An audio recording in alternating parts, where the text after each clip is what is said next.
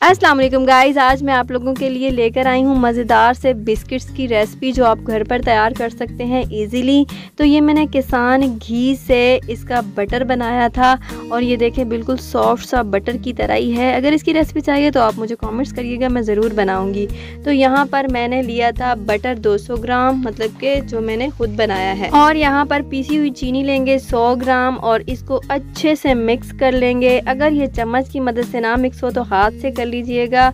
इसको बिल्कुल इसकी मिक्सिंग होनी चाहिए। इसकी कंसिस्टेंसी कुछ इस तरह से होनी चाहिए। मतलब कि क्रीमी होना चाहिए। अब एक पिंच इसमें येलो कलर डालेंगे थोड़ा सा कस्टर्ड पाउडर डालेंगे और फिर इसको अच्छे से मिक्स कर लेंगे।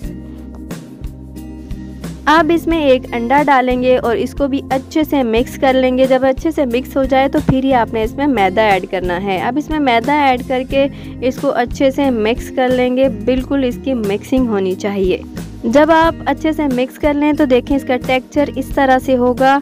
ना ये सॉफ्ट है, ना ये हार्ड है। आपकी जो डो है, वो भी ऐसी होनी चाहिए। गाइस ये मेन ट्रिक है, इस पर फोकस कीजिएगा। अगर आपकी डो ज़्यादा हार्ड हो जाए तो आप इसमें अंडा और डाल सकते हैं। अगर सॉफ्ट हो जाए तो थोड़ा सा मैदा और ऐड कर दीजिएगा। अब केक डेकोरेशन के जो नोज़ल्स होते हैं, उसमें से कोई सा भी नोज़ल लेना है और इस तरह आप अपने लिहाज से जो भी आपको स्टाइल पसंद हो, उसी लिहाज से आपने इसके बिस्किट क्रिएट कर लेने हैं। इस तरह सारे बिस्किट बना लेने हैं।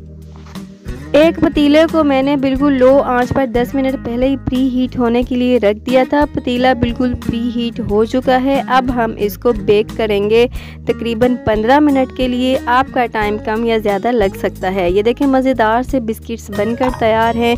सो गाइस अगर आप मेरे चैनल पर न्यू हैं तो मेरे चैनल को सब्सक्राइब कर लें और बेल आइकन पर भी क्लिक कर लें ताकि मेरी आने वाली वीडियो सबसे पहले आपको मिल सके। और आप ये ज़रूर बताया करें कि आप कहाँ कहाँ से मेरी वीडियोज़ देख रहे हैं। Bye guys.